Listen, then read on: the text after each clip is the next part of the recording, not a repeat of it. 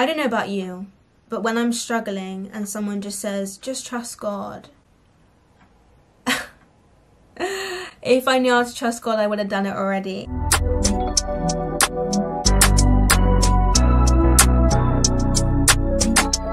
I so wish that I recorded this video earlier. It was like beautiful, like golden hour, and now I look like a ghost and I don't want to do it anymore. I recorded a video on my old channel.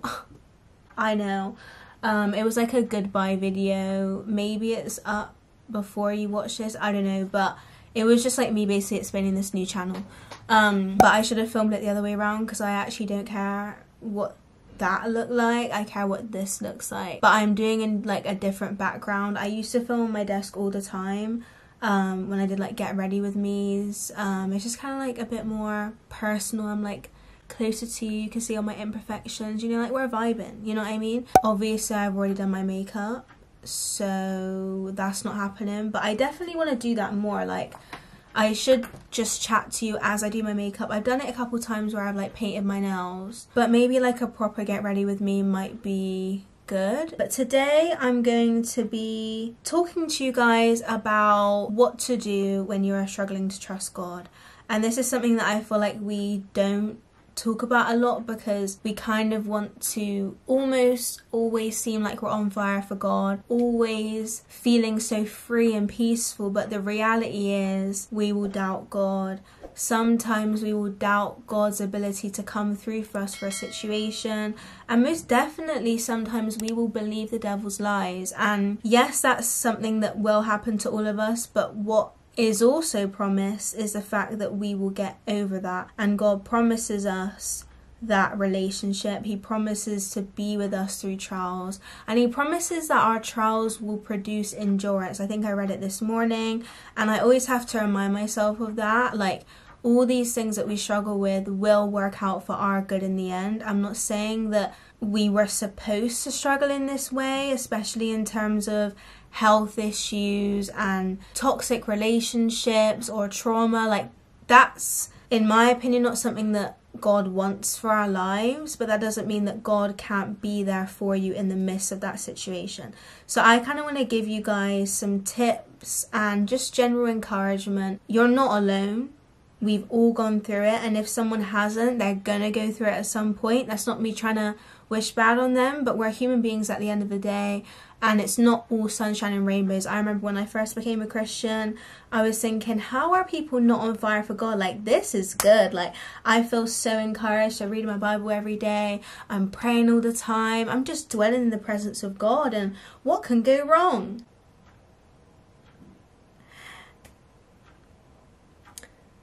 Sometimes ignorance is most definitely bliss, but when that bliss gets shifted on its head, you feel so defeated and almost like you have no way to come back from it.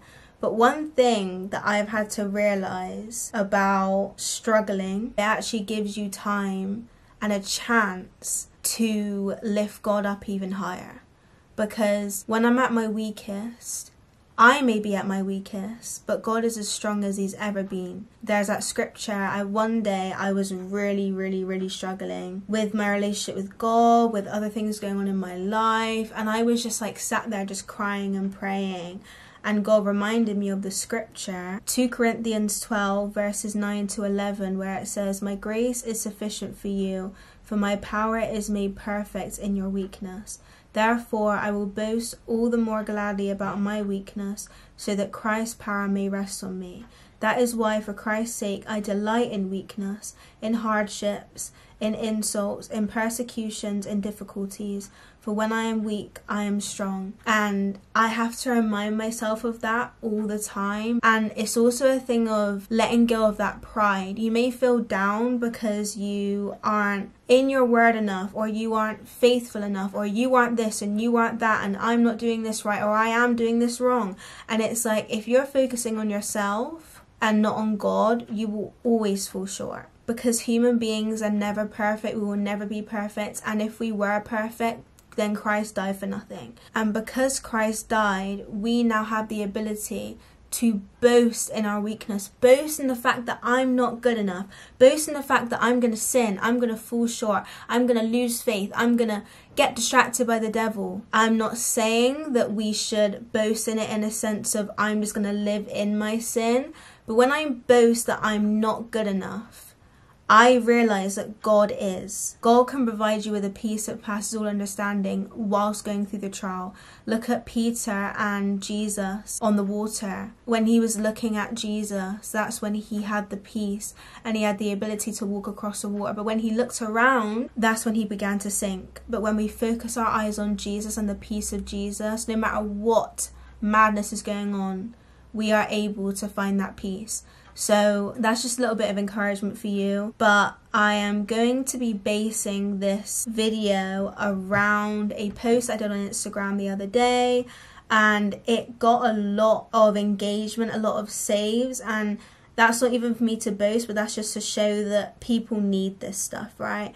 Um, I'll leave a picture up here. You can screenshot, you can go to my Instagram, save it, all of that. But I kind of wanted to go into more detail because I don't know about you, but when I'm struggling and someone just says, just trust God. if I knew how to trust God, I would have done it already. And I want to hopefully give you some practical ways that you can dwell in the presence of God, but maybe make it a bit more activity like um, and structured. And that may sound stupid for a lot of people like, why do you need to do that? Just pick up your Bible and read. Maybe they've gotten bored of it. Like, how on earth you get bored of the Bible. We're human beings, and guess what? It's a relationship. Imagine if you were with your boyfriend or your husband or your fiance and you do the same stuff every single time you see them. I'm not saying you love them any less, but you're not having as much fun if you were to do different things. I'm not saying don't read your Bible because I'm definitely going to tell you to read your Bible in this video, but in a different way that kind of changes your perspective because I think it's important that we cater to our needs whilst walking in God's will, if that makes sense. Oh, and before I start, I want to let you guys know that I've uploaded a new podcast all about how we are not meant to be popular.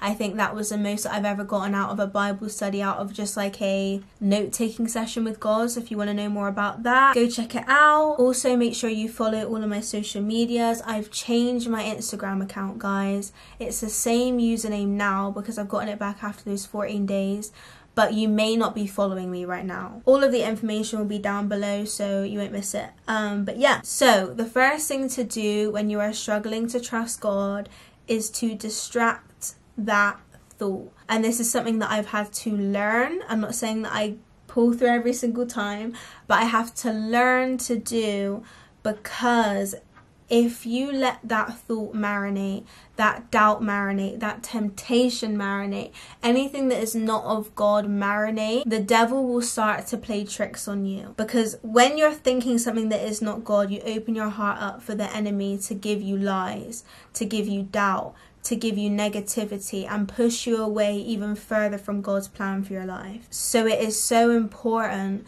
that we realign ourselves with God's word, with God's promises. If you sit there and think about it and start to analyze your situation, you're going to feel like rubbish within five minutes. And it's important that we don't let that happen because those five minutes could manifest into 10, 15 and then your whole day is ruined and then you don't even want to pick up your bible or pray or do anything i don't know about you but the last thing that i want to do is pray. And that sounds bad because i know that that is what we should do. And don't worry i'm going to get onto that. I'm not going to miss out prayer in this. But for the first thing i find it hard to open up my mouth instantly I think it's important and one day I do want to get to that point. Every now and then I feel like I, I kind of pull through on that. But for right now, I find it a bit difficult. So I highly recommend you put on a worship song, watch a sermon, listen to a podcast, something that is going to distract you from that thought. And ideally, I would say to listen or watch something because it's a bit more interactive and you feel like you're not having to focus as much. I don't know about you, but the focusing puts me off like picking up my bible when i don't feel like it. Like looking at that page is very off-putting. Again working on that But I'm not going to force you to go to something that you find hard. At least watch a sermon, at least put on a podcast that is based around faith and you growing and you building up that motivation or that inspiration to read your Bible. So, the second thing that I recommend for you to do when you're struggling to trust God is to worship Him.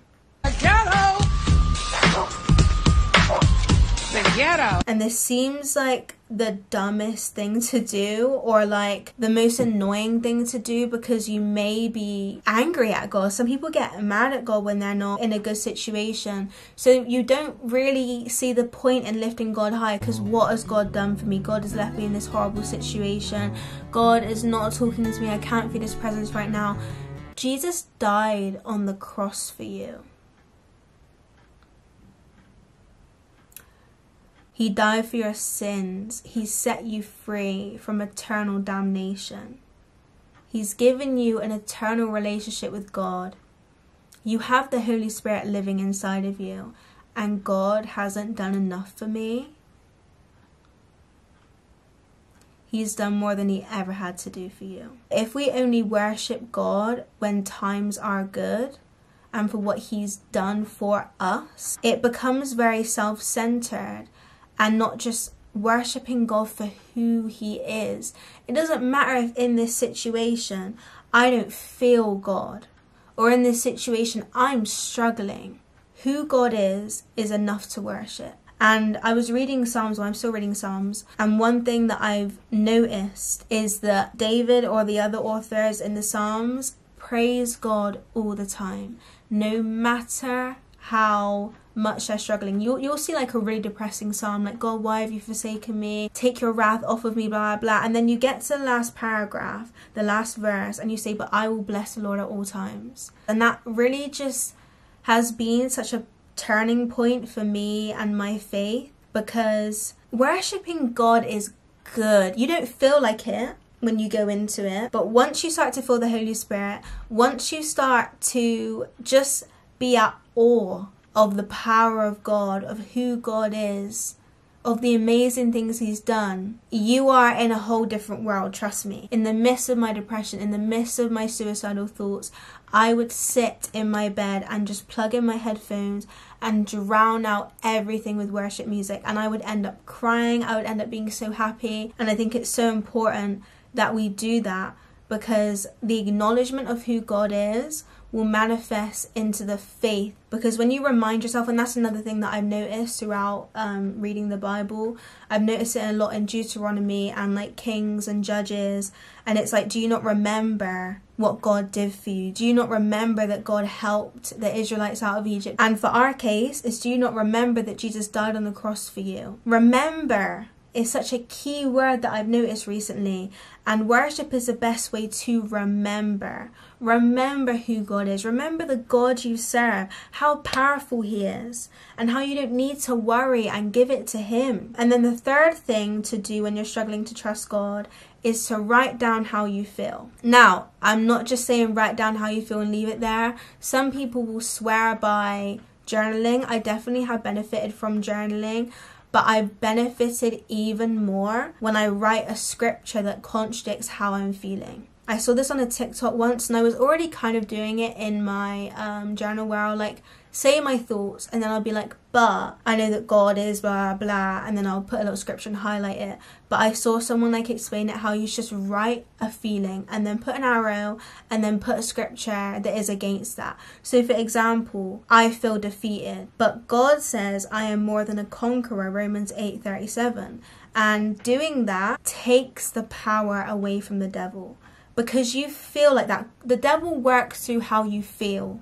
God works what is true. A feeling and a fact, a feeling and a truth are two different things.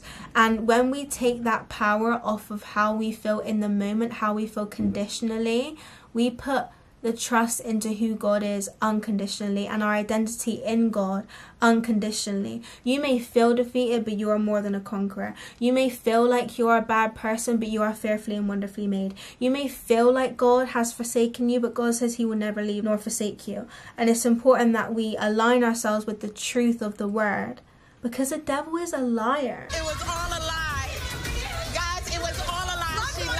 The whole point of the devil is that he lies to us and he tells us things to distance ourselves away from God. But God has given us an entire book full of promises, an entire book full of telling us who we are in Him. And when we rest in that, we're able to feel a sense of peace and a sense of positivity and a sense of stability that the devil can never give us. But if you don't have a pen and paper on you, if you're like in work or in school or driving, just think to yourself, I feel like so and so, so and so, and think, right, God says this. You may not even have a scripture, but logically, right? I don't know a lot of scriptures, even though I can pick apart a few, but off by heart, I struggle. But we have the voice of God always in us. We have the Holy Spirit living in us, so we know the character of God. We know the type of things that God would say to us. And I think that would really help put your thoughts into perspective and remind yourself to not rely on temporary